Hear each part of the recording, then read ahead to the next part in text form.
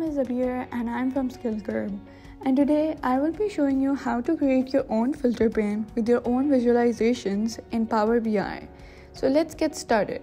So you can change the theme here from the view tab and then select the drop down button and select anything you like here but I will be choosing the purple one which is the bloom one here.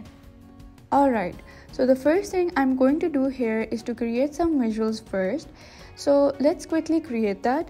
I will simply click on the donut chart here and then select the category and then select the total sales from the measure table and there we have our visual. Next, now let's create another visual and here I want to create a bar chart. So let's select that and select the customer company and also the amount. And you can see our visual has been created and now we want to increase the size and adjust both of these visuals so that they're visible and in the center of the page. Now let's create the filter pane. To do that, we will click on the insert tab and from the shape select triangle so that there is some kind of pop-up here and that's the idea here. We will be placing our filters over here in this rectangle. Now let's add in the colors here. You can keep it whatever you want it to be and also adjust the transparency as well. And now let's add our filters from here.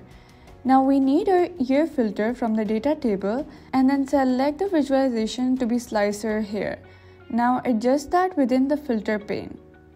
And now we can add another filter here. So I will be adding the customer country and select the slicer visual for this one as well and now you can adjust this so that it is visible. Now let's add our button here. We can choose any button. I will choose the left button here and place it inside the filter pane and then I will choose another right button and you can add that outside the filter pane. This is so that we can hide or show the filter pane. You can adjust the size of these both buttons so that they're the same. And now let's add our bookmarks. From the View tab, we will add the bookmark at the selection pane and now click on Add for the bookmark and then edit it and write in the Show filter. Add another bookmark and then write in Hide filter pane. If you click on them, of course, nothing will happen here because they are not linked to any buttons. So let's link them. This is where the selection pane comes in the selection pane allows us to click on the specific icon we have and these items are in some layout format. Like for example, if we move our shape to the top and then the shape would be above all the visuals. But that's not what we want so let's put it back to its place. Now for the show filter pane, I don't want this item to be visible. So I click on them and then hide them and now this is the status for hiding the filter pane. So we will click on these three dots here and then click on update. And now this is the view that we are currently seeing and is saved on the hide filter pane. And now if i click on show filter pane that is how it looks like. Now for the show filter pane i don't want to see this button here which is on the outside of our filter pane.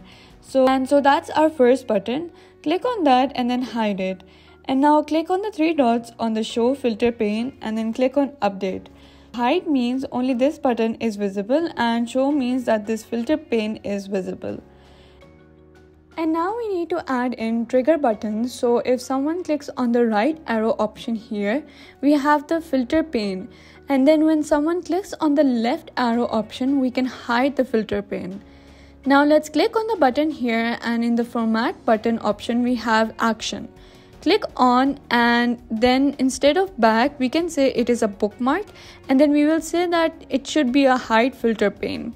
And we will do the same for the other button as well. We will click on action and turn it on and instead of type back it should be bookmark. And then we will say it's a show filter pane. And now you can see this by clicking on the control and click button. You can see our buttons are working the way we want them to work and now we have created our filter pane. Now if someone is adding some filters to our visualization like for example let's select a random filter here and then I click on the hide filter pane and we see that the data is resetting and we, we are getting the original data that we set it before. And now to fix that what we will do is open the bookmark pane and now for the show filter pane click on the more option and we have some checkboxes here.